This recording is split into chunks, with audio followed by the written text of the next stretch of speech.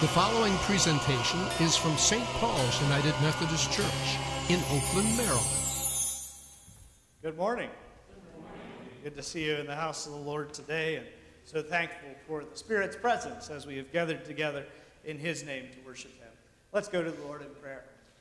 Our Heavenly Father, we thank you so much, God. We thank you for all of your blessings. We thank you, God, for your presence in this place. We thank you for the opportunity to worship and to exalt your name. And Lord, as we do worship you today and as we seek your face, we pray that you would speak to us through your word this morning, that you would impress it upon our hearts, that you would help us to apply it to our lives, and help us, Lord, to follow you. We ask this in the name of Jesus, our Savior. Amen. Well, on Friday, we'll go through a tradition that we go through at least every four years, the presidential inauguration. The inauguration marks the commencement of the president's term of office. Here in Matthew chapter 4, he presents the commencement of Jesus' ministry as the Messiah. The commencement of Jesus' ministry as the Messiah. Just as the first 100 days of a president's term are often closely watched in order to get insights into things to come, so Matthew invites us to inspect these opening events of Jesus' public ministry in order to get a glimpse of what is to follow in Jesus' ministry. Everything that is to follow is found here in early form. So this morning we want to examine these major facets of Jesus' debut as the Son of God. First, the time. The time. Instead of January 20th, Jesus' ministry begins when John the Baptist is arrested.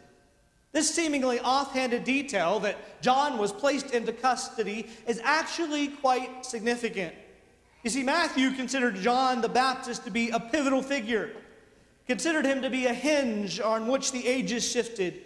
Before John, there was the time of the law and the prophets, and after John, there is the messianic age of Jesus. And John himself faces both directions. He's the last of the old prophets, and he's the first of the gospel preachers. So when John is arrested and he is removed from the scene, it's a cue that the time has come. It's a cue that the plates have shifted and that the earthquake of the promised messianic age has begun to shake the foundations of the whole world. The moment has arrived for Jesus, the Messiah, to stir into action. So that's the when, that's the time when John the Baptist was arrested. Now, what about the place? Jesus does not begin his ministry in the capital city. He launches his ministry in Galilee, working out of the town of Capernaum as a home base. Capernaum. Seriously? This is, this is crazy, right? If you're going to establish yourself as a public figure, you try to nudge your way into the limelight, not out of it. You want to go to New York and get interviewed by Matt Lauer on the Today Show, or, or you want to go to D.C. and be among the halls of power. You don't drive over to Kitzmiller and hang out with some of the locals at the Coal Bucket Cafe. But in essence, that's what Jesus was doing. Many people thought Jesus messed up. He gave up the potential spotlight of Jerusalem in favor of Capernaum, a place out of the backwaters of Palestine a place that was 85 miles away from Jerusalem. And 85 miles might not sound like much to us, but we're accustomed to driving 70 miles an hour, right? But in that day, nothing moved faster than a donkey could plod, and 85 miles was far away. So Jesus has distanced himself from Jerusalem. He's distanced himself from the political and the religious center.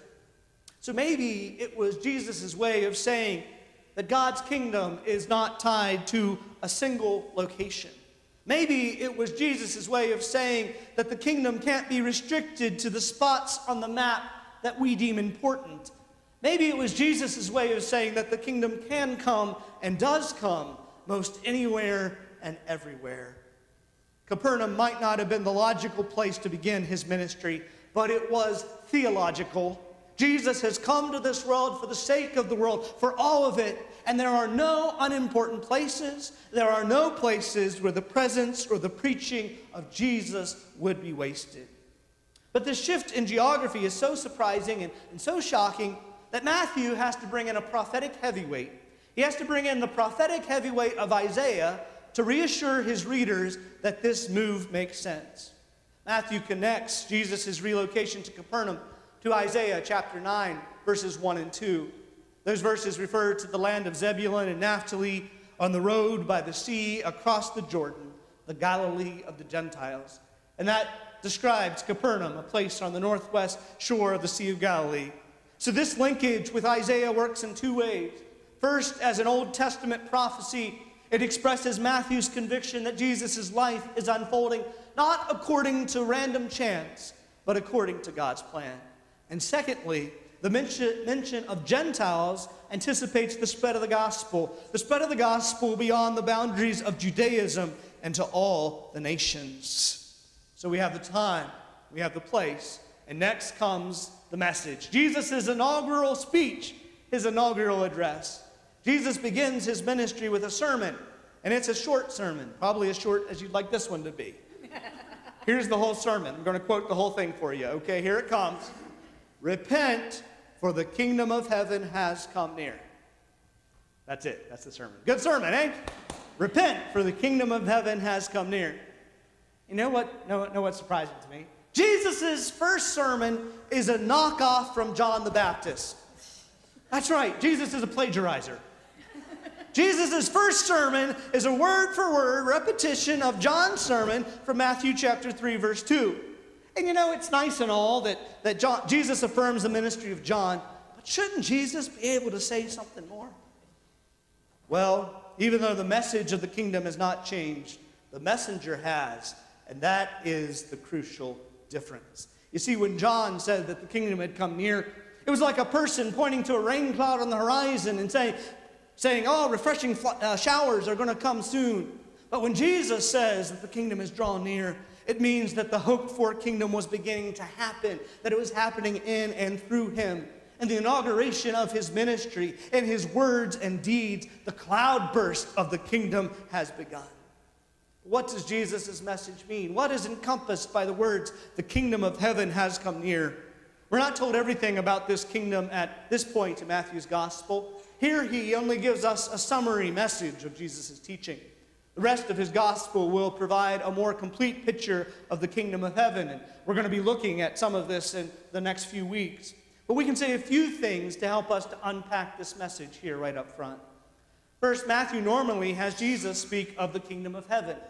The other gospels use the phrase the kingdom of God.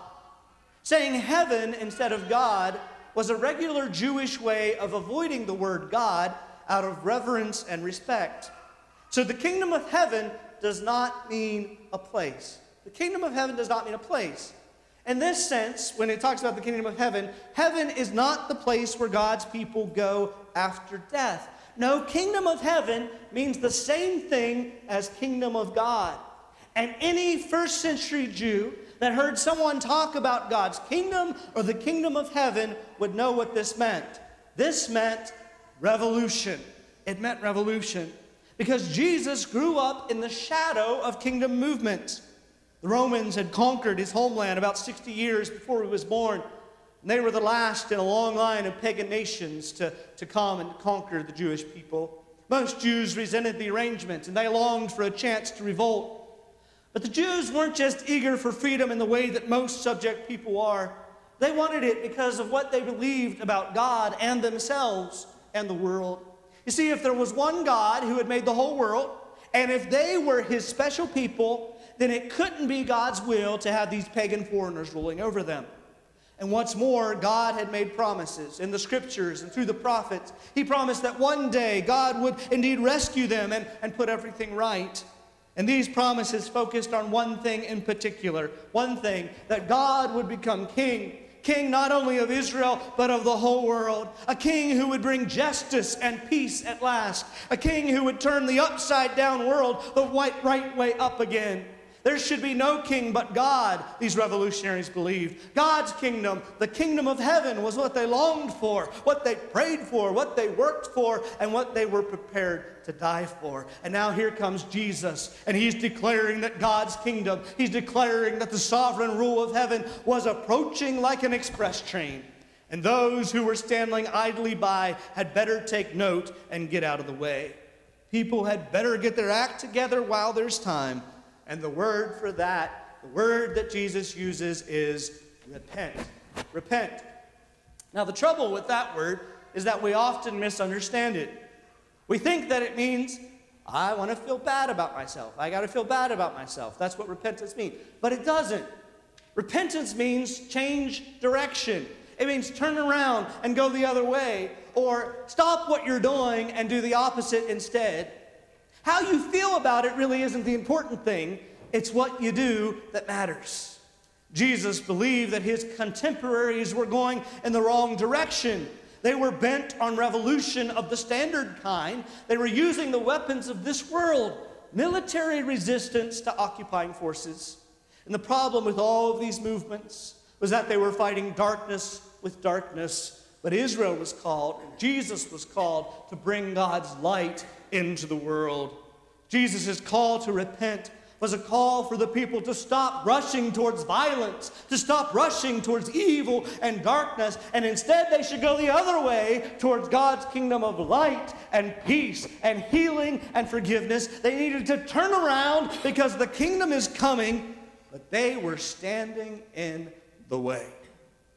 One commentator paraphrases Jesus' sermon this way Move, move, because here comes the whole new world of God. Move, because here comes the whole new world of God. Now, if you see someone crossing a street and you notice a garbage truck barreling down the road, you might, if you're nice, yell, Hey, look out, right? Jesus' words have that same urgency. Look out, move, because a whole new world is headed straight towards you. Now, if someone tells you to watch out when you're crossing a street, but you just stand there, something's going to happen quite soon, especially if it's garbage truck, right? You're going to get barreled over. Jesus' point's the same. Jesus' point's the same. You can't hear that the kingdom is approaching and then just stand there with your hands in your pockets. You need to repent. You need to turn around so that you're ready to embrace this kingdom, so that you can hop onto the kingdom instead of getting crushed by it as it rolls over you. That message today is just as urgent as it was then, if not more so, for those of us who live on this side of Calvary and Easter. We're still guilty of trying to fight the problems with the weapons of this world. We're still trying to, to fight them by the normal modes of power and trying to work our way up into the halls of power. But Jesus' kingdom works a different way. And Matthew would want to say to us that the kingdom that Jesus established now faces us with the same challenge. Are we working? Are we working to extend God's kingdom? Or are we just standing in the way? The drawing near of God's reign calls for a basic reorientation, for a turnaround, for a reversal of direction. And that's the heart of Jesus' inaugural message. Well, so we've had the time, we've had the place, we have the message. Now we have the putting together of Jesus' cabinet. That's right. Jesus is choosing his appointees. The calling of these four fishermen. He doesn't choose people with very good credentials, does he? Peter, Andrew, James, and John. This calling scene highlights the basic dynamics of the calling of all disciples. As Matthew presents what happened there by the Sea of Galilee, he emphasizes three things. First, he emphasizes the family relationships of those involved. Peter and Andrew are specified as brothers, and so are James and John. In fact, Matthew is so eager to underscore this brother relationship that he mentions it twice in the same sentence for both Peter and Andrew and James and John. And he also mentions twice that Zebedee is the father of James and John. Secondly, Matthew emphasizes their occupation. He stresses the fact that they were fishermen. And we see them in action as Jesus comes. They're doing their jobs. They're sailing in a boat. They're mending nets. They're casting nets. Jesus' words, follow me and I will make you fish for people. That obviously connects to their occupation, to their role as fishermen. Third, Matthew stresses the swiftness of their reaction to Jesus. In the case of each of these brothers, the response to Jesus is immediate. Instantly, they left their nets. Instantly, they left their boats, they left their father, and they followed Jesus. Taken as a whole, then, the calling of these four disciples makes it clear that Jesus summons people from the fabric of relationships, from the fabric of relationships brother, sister, daughter, son, father, mother and he also summons people from the midst of the workaday world, from fishing and teaching and clerking and cooking and building and all those other occupations. He takes them from those family relationships and from the midst of the workaday world into a new set of relationships and to a new vocation.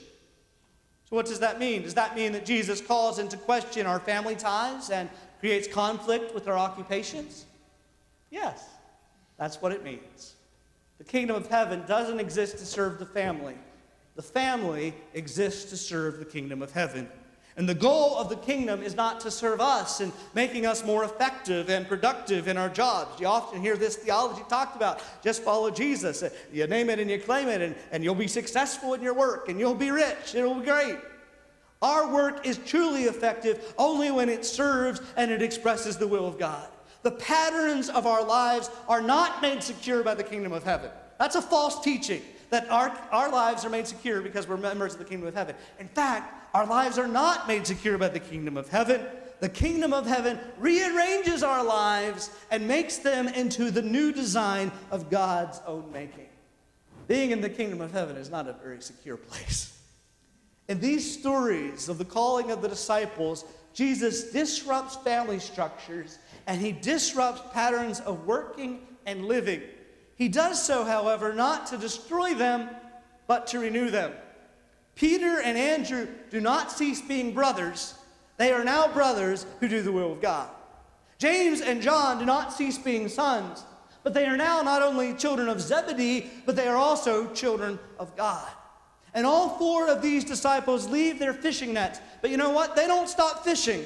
Because of the nearness of the kingdom, they now have a little bit different type of fishing. They are fishing for people. Their past has not been eradicated, but it has been transformed by Jesus' call to follow. And Jesus is calling us also to be transformed. He takes us from our places, our relationships, and our work, and He transforms them so that they now serve the kingdom of God. So this Friday, the world's attention will be turned to Washington, D.C. to watch a new president begin his term of office. When Jesus began his ministry, no one really took note. No, it was an ordinary place. But in that ordinary place, Jesus called ordinary people right in the middle of their ordinary lives and their ordinary work to do extraordinary things. And you know what? You know what? He still does. He still does. By his Spirit, Jesus still comes to ordinary places, ordinary places like Oakland, and he calls ordinary people, ordinary people like you and me, and He calls us in the midst of our ordinary, everyday activities to declare an extraordinary message, to declare that the kingdom of heaven has arrived, and He calls us to be bearers of His message of reconciliation and redemption. Yes, Jesus continues to call ordinary, everyday people from all works of life to proclaim Jesus' word and to continue Jesus' mission. So let me ask you what the Holy Spirit might be asking you this morning. How is God calling you? How is God calling you to a life of faith and meaning and purpose here and now? How does God want to transform your relationships? How does God want to transform your work? And how will you respond to the call of God? We ask that in the name of the Father, and the Son, and the Holy Spirit. Amen.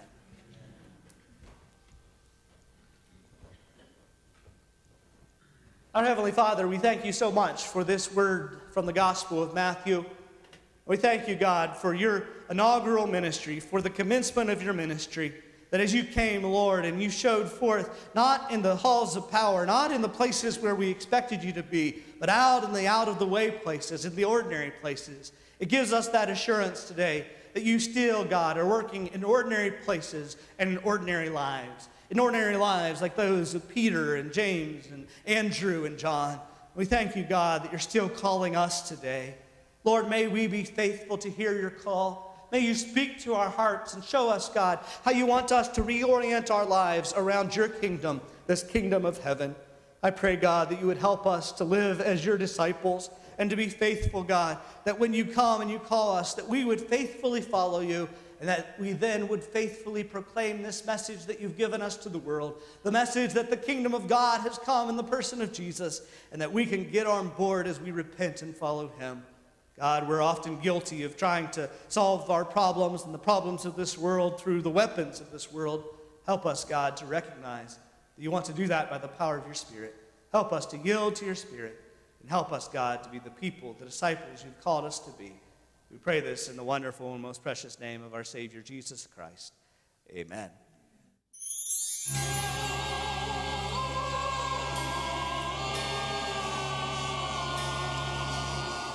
The preceding presentation came from St. Paul's United Methodist Church in Oakland, Maryland.